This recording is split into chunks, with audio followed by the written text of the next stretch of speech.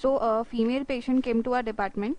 So this was a 38 year old female who came to our hospital with chief complaints of abnormal uterine bleeding and uh, chronic pelvic pain in, since six months.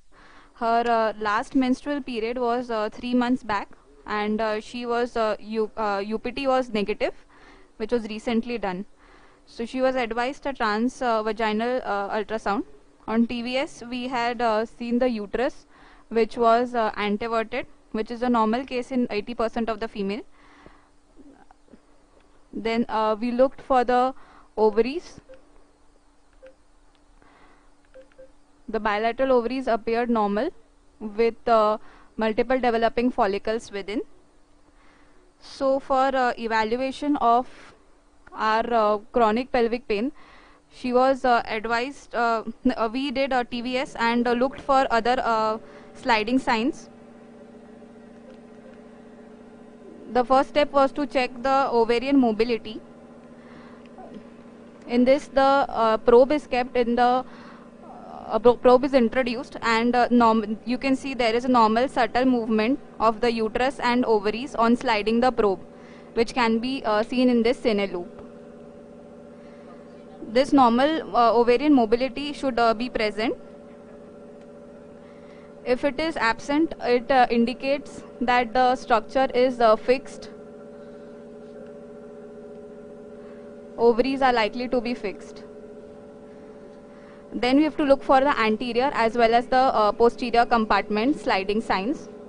In this uh, anterior compartment, you have to place the probe in the anterior fornix and you have to move the probe gently back and forth.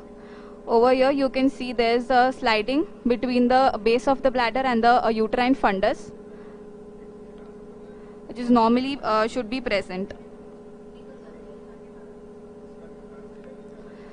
Then you have to look for uh, the posterior compartment as well as the pouch of Douglas sliding sign.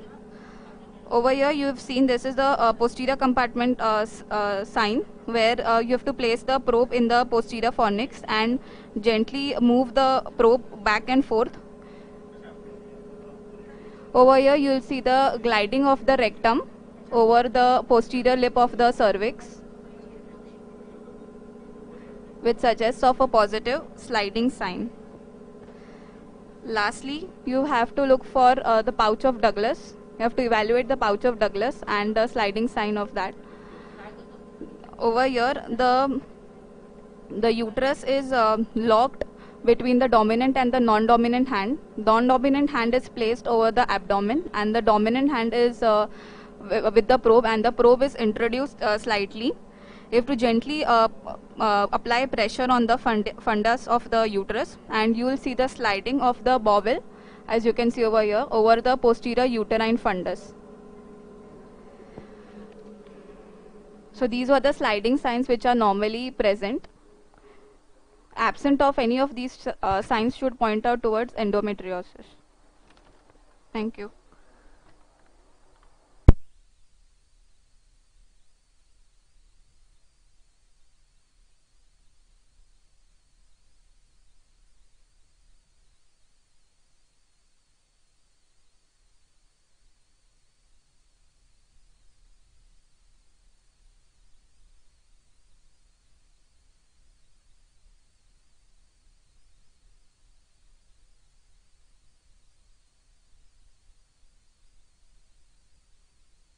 Now we will have a uh, live demonstration of case by Dr. Jitendra Sausar.